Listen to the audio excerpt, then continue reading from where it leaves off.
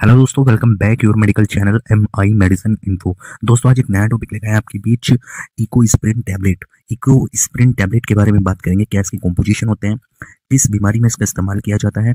दर्द में काम करती है, बुखार उतारने का काम करती है या फिर खून को पतला करने का काम करती है या नहीं करती है? कैसे इसके मैकेनिज्म है? क्या इसके डोज है? क्या इसके साइड इफ़ेक्ट है? और क्या इसके कॉन्ट्रा इंडिकेशन है? यानी किन लोगों को देना नहीं चाहिए और किन लोगों को देना चाहिए? तो ओवरऑल इसके सारे टॉपिक के बारे में बात करेंगे। हिंदी प्लस इंग्लिश में चलिए स्टार्ट करते हैं। देखिए दोस्तों it is a class of N S A I D drug यह एक non steroidal anti inflammatory class की दवाई होती है। तो अगर आप इकोस्प्रिन टैबलेट की बात आती है तो सबसे पहले आपको पता होना चाहिए कि इकोस्प्रिन की जो क्लास है एनएसआईडी क्लास की एक ड्रग है। It is a also called COX inhibitor तो ये क्या है? देखिए, एक एंजाइम होता है, जो कि साइक्लोऑक्सीजेनस एंजाइम होता है। तो ये जो है, इसको प्रभावित करती है। ये कोक्स एंजाइम जो होता है, वो इन्फ्लामेशन और दर्द के लिए जिम्मेदार होता है। आगे लिखा है this enzyme this responsible for inflammation and pain यह एंजाइम इन्फ्लामेशन तथा दर्द के लिए जिम्मेदार होता है। तो ये एंजाइम जो होता है कॉक्स एंजाइम जो होता है, वो बॉडी में इन्फ्लामेशन और दर्द को बनाता है। यानी इसके लिए ये जिम्मेदार होता है। इस एंजाइम पे जाकर के ये इको स्प्रिन काम करती है।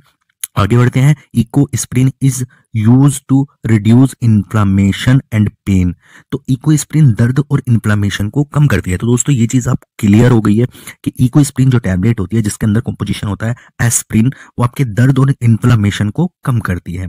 अब आगे बढ़ते हैं। It has anti platelets action यह दवाई प्लेटलेट्स के क्लोट को नहीं बनने देती। यानी प्लेटलेट्स के जो क्लोट्स बन जाते हैं, उनको बनने से यह रोकती है Ecosprin Ecosprin also use blood thinner because it prevent clot formation of blood. Ecosprin रक्त पतला करने के लिए भी इस्तेमाल की जाती है, क्योंकि यह रक्त में रक्त का थक्का नहीं जमने देती। देखिए, दो चीज़ दोस्तों क्लियर हो जाती है इसमें। एक तो ये प्लेटलेट्स के क्लोट को नहीं बनने देती और ये जो है, खून के रक्त में जो प्लेटलेट्स होते हैं, उनमें थक्का नहीं जमने देती। तो खून को पतला करने का भी काम करती है इन्फ्लामेशन दर्द को भी कम करती है। तो इसमें बहुत बड़ा एक कंफ्यूजन बना रहता है इको स्प्रिन टैबलेट को लेकर के, कि इन्फ्लामेशन को कम करती है, दर्द को कम करती है, या फिर ब्लड क्लोट से बचाती है, खून को पतला करने का काम करती है। आई होप ये सी चीज़ अभी तक आपकी क्लियर हो गई होगी। इन्फ्लामेशन दर्द और खून को पतला करना, यानी थक्का नहीं बनने देने का काम करती है। तो ये क्लियर हो गया है। तो आगे बढ़ते हैं यूज़ की बात करते हैं। देखिए प्रिवेंट ऑफ़ एंजाइना एंजाइना के खतरे से बचाती है। एंजाइना का अटैक जो आता है उसके खतरे से ये बचाती है।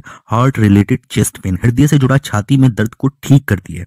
जैसे कि किसी तरह का हृदय में दर्द है, दिल में दर्द हो रहा है, छाती में दर्द हो रहा है, उसके लिए भी ये काम करती है, उसको ठीक करती है। Prevention of heart attack heart attack से बचाती है।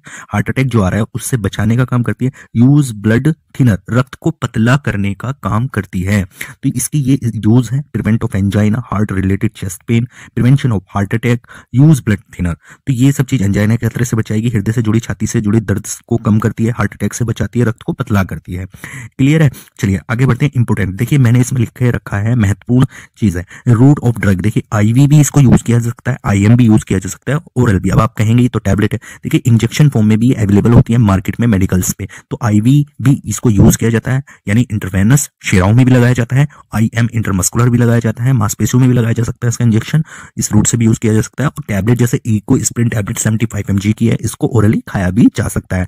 क्लियर है? कॉम्पोजिशन इसके अंदर होता है एस्प्रिन नाम, ये जो इसका ब्रेन नेम है इको स्प्रिन इसका कॉम्पोजिशन इसके अंदर होता है एस्प्रिन चलिए नेक्स्ट बढ़ते हैं साइड इफ़ेक्ट की बात करते हैं, दुष्प्रभाव क्या देखने के लिए मिल सकते हैं इसके यूज़ के बाद. देखिए नोजिया वोमिटिंग अगर पेशेंट इसको खाता है तो जी घबरा सकता है, उल्टी जैसा हो सकता है मन, हार्ट मन छाती में जलन हो सकती है ब्लीडिंग रक्त स्राव हो सकता है, कहीं से भी ब्लीडिंग हो सकती है, नाक, कान से, कहीं से भी ब्लीडिंग हो सकती है स्टोमक इरिटेशन पेट में किसी तरह की इरिटेशन हो सकती है डिस्कम्फर्ट फील हो सकता है इंडाइजेशन पाचन खराब हो सकता है, पाचन बिगड़ सकता है इंडाइजेशन की समस्या हो सकती है। तो साइड इफ़ेक्ट इसके कुछ इस तरह के देखे जाते हैं। नेक्स्ट बढ़ते हैं इसके कॉन्ट्रा इंडिकेशन पे। तो कॉन्ट्रा इंडिकेशन में पेप्टिकल्सर अगर किसी को पेट में छाले हैं पेप्टिकल्सर की डिज़ीज़ है तो उसको इस्तेमाल नहीं किया जाएगा। क्योंकि उससे क्या होता है कि छालों में जाकर ब्लीडिंग कर सकता है तो पेप्टिकल्सर के जो पेशेंट है, उनको यूज़ में नहीं लाया जाएगा उनके लिए। ब्लीडिंग डिसऑर्डर अगर किसी को रक्तस्राव की प्रॉब्लम है ब्लीडिंग की समस्या है ब्लीडिंग होती है तो उनको भी यूज़ नहीं किया जाएगा, उन पेशेंट को भी इसको यूज़ में नहीं लाया जाएगा। बिफोर ट्वेल्व ईयर ओल्ड अगर बारह साल से नीचे का बच्चा है, उनके लिए बिल्कुल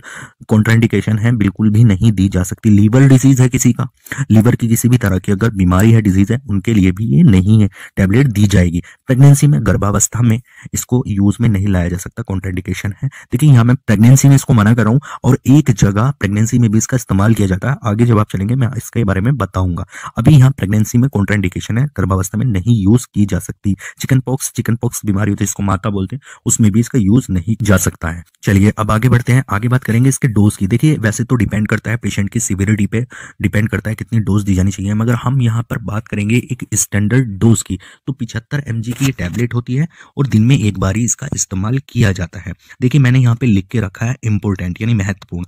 ये एकदम गोल्डन लाइन्स हैं, इनको समझने की आपको बहुत ज़रूरत है। ध्यान से समझिएगा। Sometime this medicine is also prescribe for pregnant female for pregnancy loss कभी कभी ये दवाई गर्भावती महिलाओं में गर्भ बचाने के लिए भी इस्तेमाल की जाती है। अभी मैंने गर्भावस्था में इसको कॉन्ट्राटिकेशन बताया था, यानी प्रेगनेंसी में इसका यूज़ नहीं किया जा सकता। अब यहाँ पर हमने इंपोर्टेंट नोट में क्या बताया कभी कभी जो गाइनोकोलॉजिस्ट होती है, वो गर्भ को बचाने के लिए इसको देती है पेशेंट को। आगे बढ़ते हैं, चलिए। In pregnancy, this medicine can only use after doctor prescription in proper manner and condition गर्भावस्था में दवाई डॉक्टर गाइनोकोलॉजिस्ट की सलाह पर ही दी जाएगी। जो गाइनोकोलॉजिस्ट हैं, जिनसे ट्रीटमेंट चल रहा है, ये सिर्फ़ गाइनो ही प्रिस्क्राइब कर सकती है, आप खुद से नहीं ले सकते हैं, या फिर दूसरे डॉक्टर भी इसको प्रिस्क्राइब नहीं करेंगे। तो गाइनोकोलॉजिस्ट जो होती है, वो गर्भवती महिला की सिचुएशन को देख करके प्रेगनेंसी की हालत को समझ करके, जब इसका प्रिस्क्रिप्शन करती हैं। आई होप सो आपको समझ में आ गया होगा इको स्प्रिन क्या इसके डोज हैं, क्या यूज़ हैं, कैसे काम करती है। चलिए मिलते हैं नेक्स्ट वीडियो में, एक नई इन्फॉर्मेशन के साथ। तब तक के लिए जय हिंद, जय भारत।